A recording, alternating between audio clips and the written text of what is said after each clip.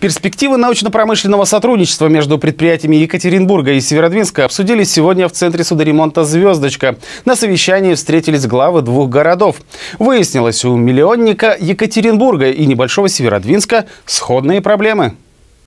Глава Северодвинска поделился опытом создания эффективных муниципальных предприятий. Это и комбинат школьного питания, и муниципальная аптечная сеть, и шесть управляющих компаний, которые обслуживают большую часть нашего жилфонда. Мне очень интересна была практика, которая существует в Северодвинске, в том числе э, сохранение муниципальных предприятий, насколько эффективно они работают. Мы знаем, что сегодня немножко другой тренд реализуют в стране. И э, не всегда это оправдано, не всегда муниципальное предприятие э, синоним плохое предприятие.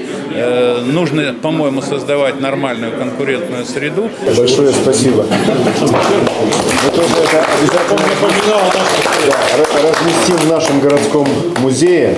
Екатеринбург – крупнейший промышленный и научный центр, на территории которого работает около 200 предприятий машиностроительной, металлургической, строительной отраслей, более 80 научных и отраслевых институтов. Сотрудничество двух регионов в создании платформ и подводных сооружений для нефти и газа помогло наработать уникальный для России опыт. Руководители уральских предприятий выразили готовность активно развивать дальнейшее сотрудничество с оборонкой Северодвинска, совместно работать над программой импортозамещения.